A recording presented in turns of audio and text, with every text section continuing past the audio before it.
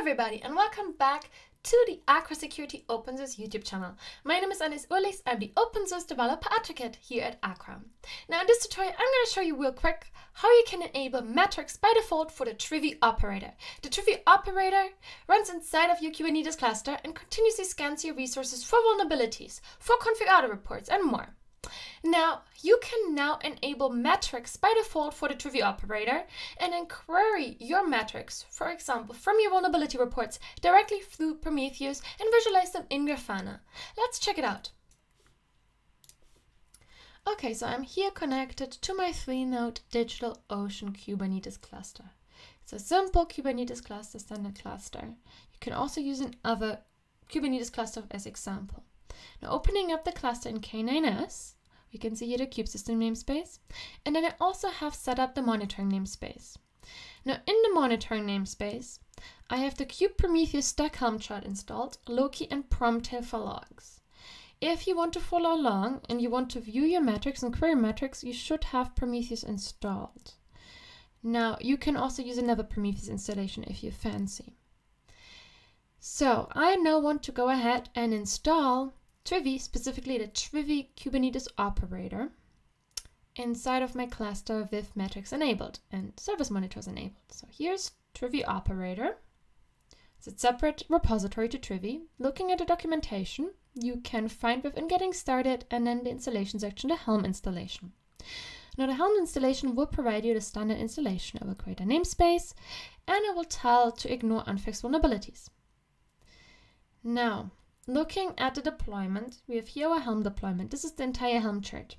Now within the values YAML file, we can look at metrics to see which parts are metrics. Now finding metrics that are related to the Trivy operator is by default enabled in the Helm chart. However, what's not enabled by default is the service monitor. So here's the command on how we can enable the service monitor within the Helm chart set service monitor dot true. Now looking again at the values YAML file, we can see that here's our service monitor and it's not enabled by default. So we will have to enable it so Prometheus can discover the metrics from the Trivy operator. So let's install the Helm chart inside of our Kubernetes cluster.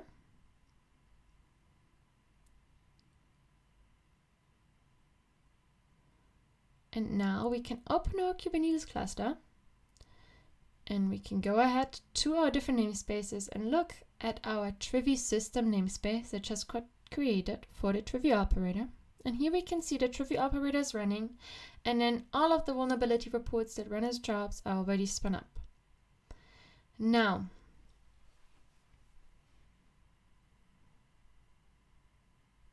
we can look at the service monitor that got created for the Trivy operator. Now the service monitor is necessary so Prometheus can discover the metrics from Trivy operator. Looking at the namespaces again, going to the monitoring namespace and forwarding Prometheus from the services. So we're just going to forward the Prometheus operator running on port 9090 to our localhost 9090. Opening localhost 9090 for Prometheus. We can then look at within status to our service discovery. And here are the different service monitors that Prometheus knows about, including our Trivy system service monitor. Now you want to make sure that there are target labels identified to make sure it can actually scrape metrics from the Trivy operator. Now looking at the targets, we can see whether or not the target is up. And you want to make sure that that's just green and up. and then we can go ahead and we can also, well, look at the metrics that are coming from now we can look at the metrics that are coming from the Trivy operator. For this, we're going to port forward Trivy operator to localhost 8080 And in a localhost 8080 slash metrics, we're going to find all of the metrics that are coming from the Trivy operator.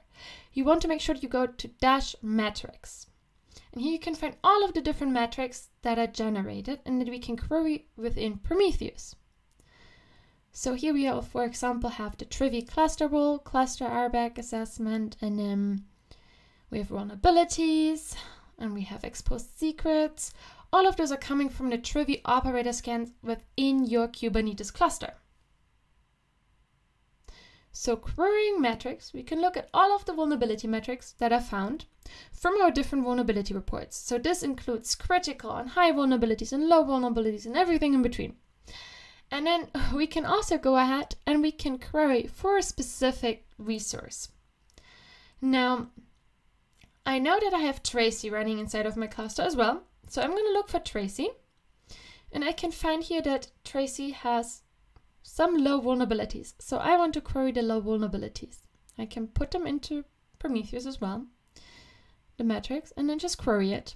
And then I can also say sum and count for my different metrics. So how many uh, scans are there? There's one scan for Tracee that identified low vulnerabilities, and in sum, there's a total of six low vulnerabilities.